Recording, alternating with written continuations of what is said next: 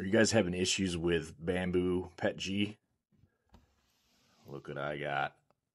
I got it dialed in finally. This is V1. Uh, just factory settings on the slicer.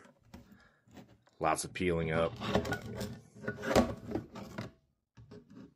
Lots of peeling up. surface is rough. Really terrible. Like, I'm trying to put out a quality product, but wasn't happening. So, I had glue on the bed. Didn't help. This is the second version where I bumped up the initial layer temperature um,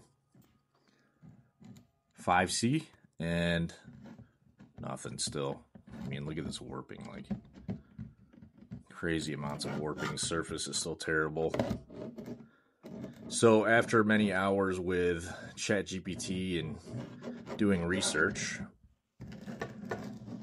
I didn't want to put a brim down just because it's, you know, that's time I got to spend cleaning up the edges. I don't want to do that. I'm trying to mass produce these things, hopefully, you know.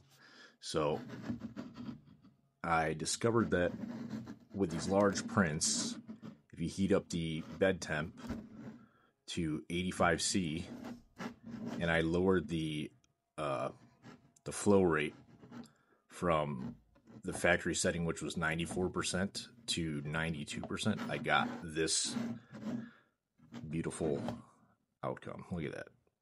She's pretty. Follow for more. Thanks.